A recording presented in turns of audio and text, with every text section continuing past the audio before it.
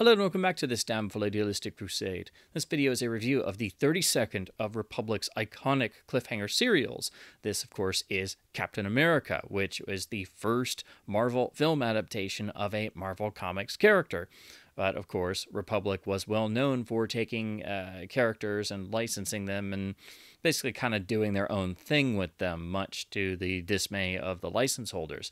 Uh, well, never was that more true than Captain America because aside from the name Captain America being given to the lead character who wears the Captain America costume, that's the only thing this has to do with the with the actual character. We don't even have the shield, and it is debated among scholars, but very much obvious that the original plan was to adapt eh, or work with a different character, and for whatever reason, the script was kept, and they just changed the name and decided to license Captain America instead. It seems that perhaps they were originally going to adapt the character of Mr. Scarlet, who was a Fawcett Comics character, but Fawcett Comics was tied up in the lawsuits that would be long running with uh, with DC and eventually led to Fawcett being sort of subsumed into DC. Uh, of course, Republic had previously done the masterpiece serial Adventures of Captain Marvel, which uh, while it was technically Captain Marvel, was significantly altered, shall we say? Uh, so the serial Captain Marvel, in in its own right, is a unique and fascinating, legendary character, but very different from the comic original in most respects. But here in Captain America, they basically just have a, a, character. It is the district attorney, played by Dick Purcell, who unfortunately died shortly after the production of this serial. But he really throws himself into this role and is great uh, in a in a serial lead as a crusading district attorney by day who puts on a costume and goes around fighting crime and trying to stop the efforts of the mysterious Scarab, who is the uh, villain mastermind of this serial, by acting as Captain America. So, again, he puts on the Captain America costume, and everyone refers to him as Captain America, but that's the only thing it has to do with Marvel's character. So the, this this obviously will be something that uh, Marvel fans will have to get used to, especially if you've never seen a serial before, and especially uh, if you don't know how Republic could take characters and just kind of do whatever they wanted with them, and just for the serial form. But this is a well-made serial. It is uh, credited as actually being Republic's most expensive serial to date, and it does does have the more, I guess, premium runtime because this does run for an extended 15 chapters, which they tended to do when it was a licensed character uh, or, or something that they had to pay a bit of money for so they knew there was already a built in audience. Now, if you've seen my other serial reviews, I'm not as big on longer serials. I think with the Republic style, I think 12 chapters was really the sweet spot because uh, the more chapters you have, the more repetitive the action can get, and you have to artificially kind of prolong the story in ways. But other elements in this serial, I think, manage to overcome a lot of that. And so while the serial itself, if you were just looking at its story and the fact that it's 15 chapters, might not seem like it was all that special. The the real draw to this serial and what makes it deliciously entertaining is the fact that the Scarab, the main villain, is played by Lionel Atwill, who has a field day. And of course, me being a giant Atwill fan, especially from his classic horror films and his ability to just twirl the mustache with the best of the mustache twirling villains. Uh, I think he is one of the greatest screen villains of all time uh, across many different films, but he also did work in serials a number of times, and this may just be his best appearance in a serial. He is deliciously evil one moment, but then able to assume the cultured uh, errors of a doctor at the museum as his public persona, which is really who he truly is. But uh, one can't help but notice the wonderful, wicked, uh, almost manic at times gleam come into the eyes when he starts plotting his schemes of villainy. So it's Atwill's presence that really drives this serial when he's on screen.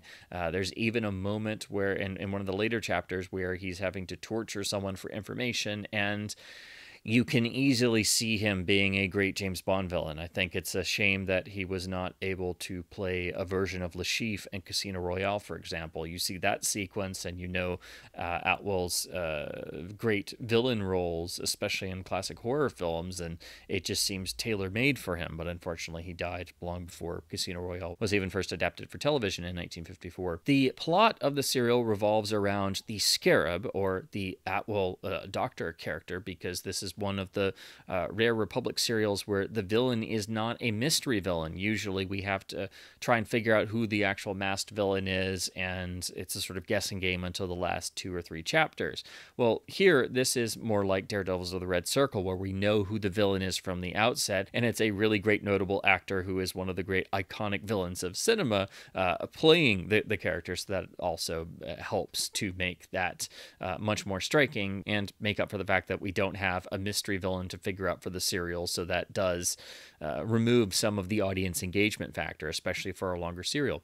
But the Scarab has been uh, committing various murders of, of men who are all tied to a former expedition where the Atwell character feels he was left out of the credit and share of the treasure and such that was uncovered on this uh, essentially sort of archaeological expedition. And so, in his sort of mad scheme of revenge, he's killing off all of the uh, team members one at a time and leaving the trail of the scarab and has in- invented or is trying to steal away various bits of technology, including uh, a wonderful uh, vibration ray device which is capable of uh, reducing skyscrapers to just a pile of rubble. So there's a lot of fascinating elements in this serial, a lot of interesting cliffhangers, but the real thing that makes this serial work is the direction. And you look at most serials, they're going to be directed by a team or of at least two, if not sometimes three directors, because the workload was so much that it had to be split between directors usually. Well, here it was split between Elmer Clifton, uh, who interestingly had a career dating back to the silent days, even working with Griffith, and for some reason or another wound up co directing the serial. But the important name in terms of uh, serial credits is the co director was John English, who is famously uh, half of the greatest team of serial directors. He co directed Captain Marvel and most of Republic's most legendary serials with William Witney, who uh, myself and many others credit as sort of the father of the modern action sequence. And it is in particular the Witney English Republic serials that pretty much everybody agrees is the pinnacle of the form and they that that was really where republic was at its peak producing serials and and those uh, that, that that form a sort of canon of of the pinnacle of what the cliffhanger adventure action serial could be and where it really and truly was an art form. So to have half of the greatest serial directing team of all time on this serial only means that the energy, the intensity is there. The fight sequences here are phenomenal, as they are in practically every Republic serial, but it is fitting that you have uh, John English here as co director. So the fight sequences here are absolutely fantastic, and you will find yourself marveling over them.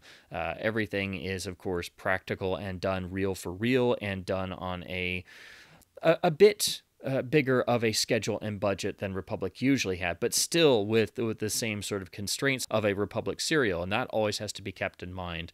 Uh, even though this was Republic's most expensive serial, uh, there you do still have the the common issues of serials in terms of uh, the each chapter does have to open with a recap of the previous chapter, and you have to be sure and not uh, cheat the audience in terms of resolving the cliffhanger. But usually, the the thing that people will find lacking, especially today, is that the character development is very much minimal. So you get the setup of the character, but uh, outside of that, and knowing that he is a, a district attorney by day and Captain America when nobody's looking, you know that's basically all you get. So the actual character lives and dies on the strength of the direction and the energy of the performance, which are both sensational. So it's the direction having that punch to it, which is essential for a serial, and the performances across the board having a nice energy that sustain the serial across the 15 chapters. So I do think this is a very good serial and manages to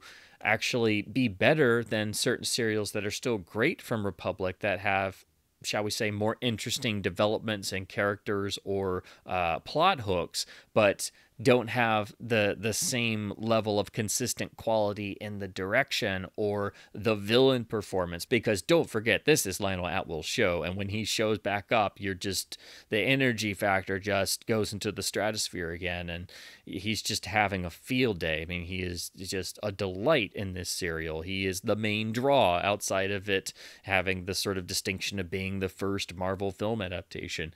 Um, but it's it's really the combination of of John English as co director, the fantastic action staging and sequences, some really nice cliffhangers, some nice uh, sort of uh, villain doomsday uh, devices and bits of technology.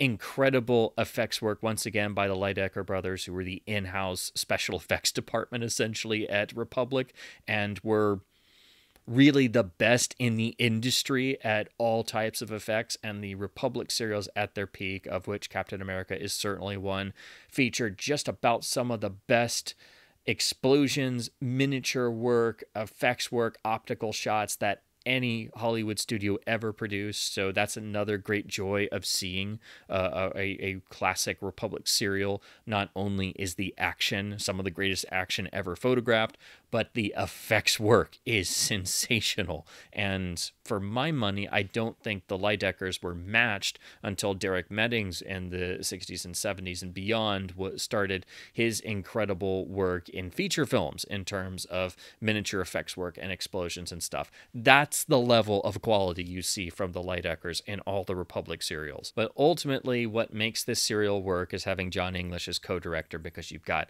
half of the greatest serial directing team of all time, making sure that this serial has enough energy and punch and drive to keep going because you have it basically kind of stretched out over 15 chapters with not a lot of story progression. What they do instead, uh, the whole team of writers, because serials would have a lot of writers, but this one has a substantial amount.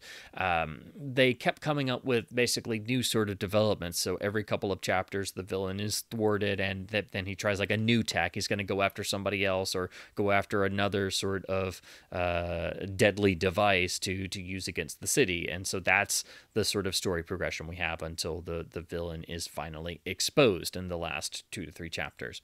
So uh, Captain America actually manages to be a far better serial than you expect, and also a far better better serial than you think when you start it because a lot of serials do take a little while to get going and the opening chapter is obviously longer to set up the story. So usually the opening chapter is closer to 30 minutes and the other chapters are usually somewhere around 20 minutes. But ultimately it is the combination of John English as co-director the incredible villain performance by Lionel Atwill uh, seeing some lovely familiar faces. Many character actors appear in this. Uh, even Edward Van Sloan appears in one chapter. So there's a lot of famous faces for classic horror fans. But uh, seeing a Republic serial is also nice to see a lot of really wonderful, uh, cherished character actor faces pop up in and out of different chapters. Um, but then also the action is absolutely first rate, and it, it, just all combines into a really effective serial that is far better than you'd think it'd be, especially due to the fact that the actual story is not super developed outside of the concept, and it's also not doing Captain America at all, aside from the name and the costume. So that's the sort of amusing factor that runs throughout the whole serial. Is you might expect something about the super soldier serum or Captain America's shield or Bucky the sidekick or, you know, uh, uh fighting in World War II, something. No, there's none of that. It's just, it's Captain America in name and costume only. Now, when it comes to official releases, unfortunately, like most serials, uh, this has not been treated with care or love or respect. And unfortunately, the only official physical media release is the original Nostalgia Merchant VHS tape, which came on this dual set, which I have here, with nice artwork, uh, very much in the same style as the other Nostalgia Merchant VHS releases of serials they would do. And eventually, this would transition over into the more official uh, Republic Pictures branded uh, VHS and Laserdisc releases. So, uh, this kind of started that whole run of the classic Republic serials getting a home video release. And then the rear cover is the same on all of these.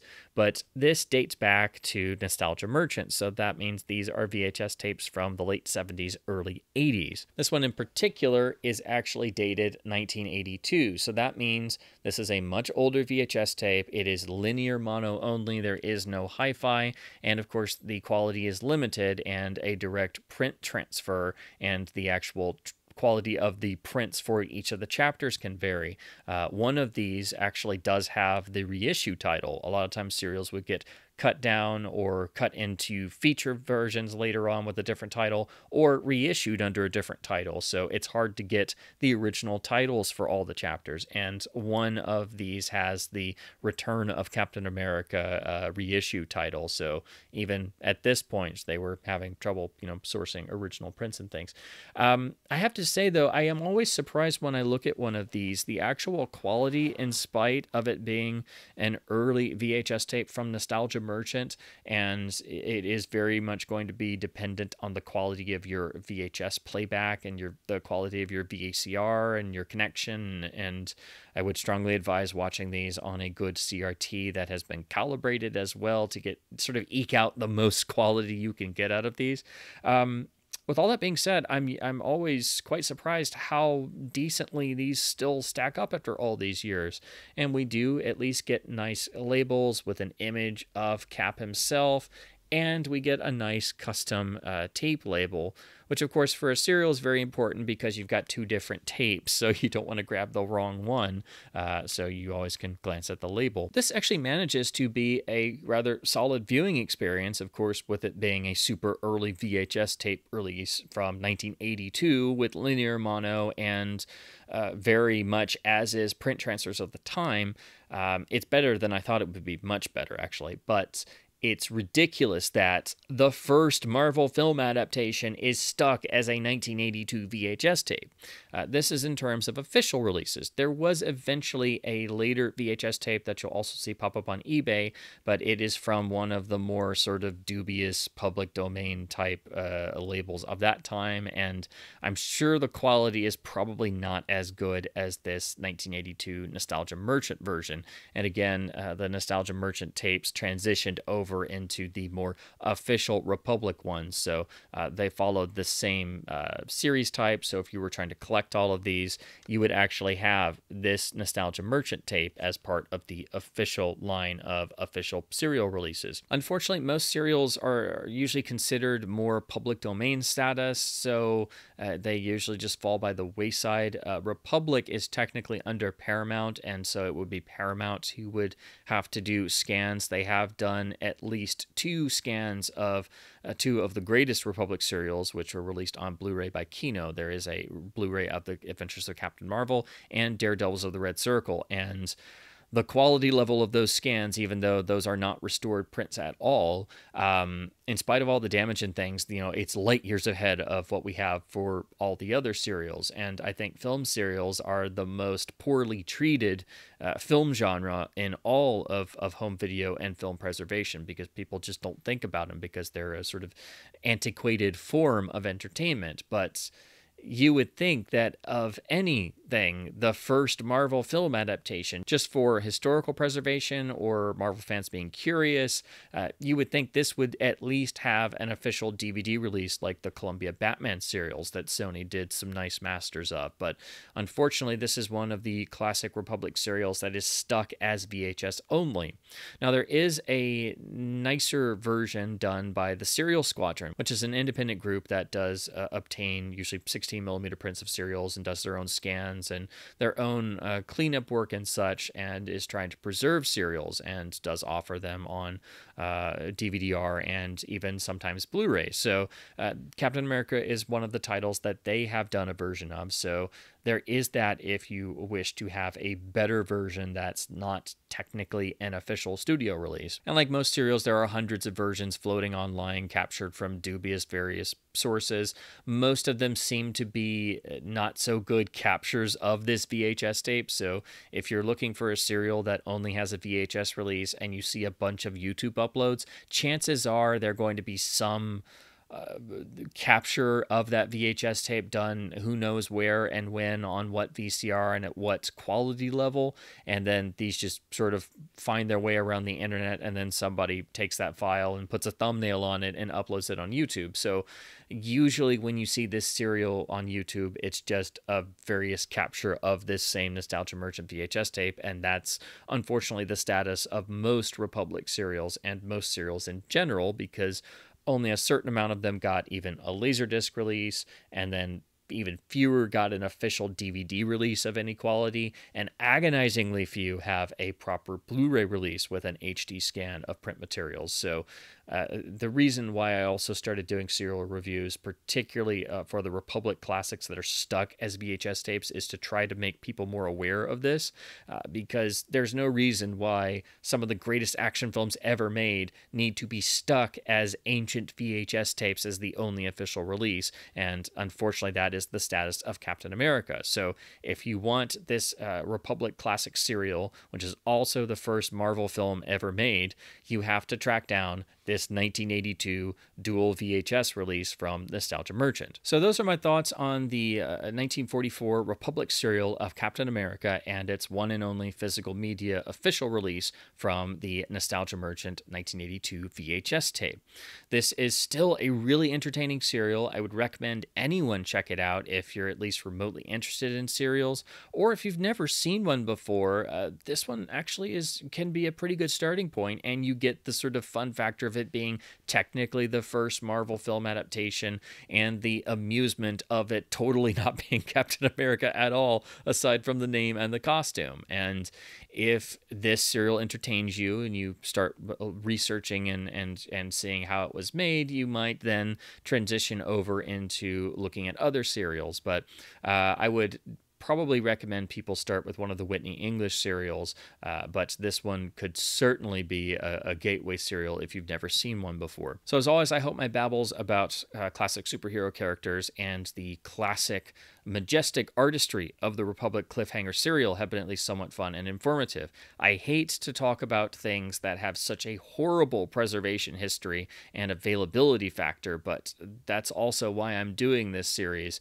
I've always wanted to look at more of the Republic serials, and someday I hope to, to view all 66 of them but the preservation status and home video availability is so bad that I really felt the need to start tracking down the best official releases and to try to highlight this wherever possible. So, of course, that means doing VHS reviews for certain titles like Captain America, where this is the best and only physical media release, which again is ridiculous. So, this is certainly a serial that needs a proper new HD scan. It would probably have to be from Paramount, and there would probably be a lot of rights to be worked out between Paramount, Marvel, and of course Disney. Uh, it's possible that this would fall entirely under Disney somehow. I just I don't know how exactly the rights would work out, but you know, if any serial would be of interest today and uh, get people to watch it and make whoever did the scan money, it would have to be Captain America because it is the first Marvel movie ever made. And in a lot of ways is arguably still one of the best Marvel films because while it has nothing really to do with the character, it is representative of one of the great American cinematic art forms and the art form that is the most undervalued, underrespected, and is so incredibly important to the development of, of cinema, particularly the action film, would not exist without the adventure serials. And chief among those, the Republic serials, most of all, are the pinnacle of the art form of the cliffhanger serial and need to be properly preserved and at least available in modern news scans of the best available sources and not stuck as outdated, ancient, old VHS tapes from the dawn of home video. So, as always, please do keep supporting both studio and boutique labels uh, and serial releases wherever possible by buying films on disc even when it means buying old VHS tapes because that's all there is. This not only helps to support uh, and keep film culture alive, but it helps to keep supporting uh, restoration efforts from studios and labels, which hopefully at some point, maybe fingers crossed, might mean uh, more work on classic cliffhanger serials. And as always, thank you ever so much for watching.